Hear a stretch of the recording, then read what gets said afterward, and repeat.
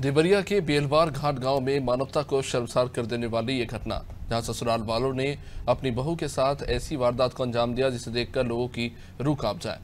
जानकारी के मुताबिक बहू का सिर्फ़ कसूर इतना था कि उसने प्रेम विवाह किया, जो उसके ससुराल वालों को इतना नागवार गुजरा कि उसने बहू को तालिबानी सजा दी। पीड़िता अभी बुरी तरह से जख्मी है और अस्पताल में भर्ती है। देवरिया में मदनपुर थाना क्षेत्र का प्रकरण है, जिसमें एक पीड़िता द्वारा अपने ही परिवारजनों, सास, ससुर, देवर, ननद इत्यादि पर कुछ गंभीर आरोप लगाए हैं। इस संदर्भ में मदनपुर थाना में सुसंगत धाराओं में अभियोग पंजीकृत किया जा चुका है और विवेचना चल रही है। जो भी तथ्य आएँगे, उनके आधार पर कार्रवाई की जाएगी।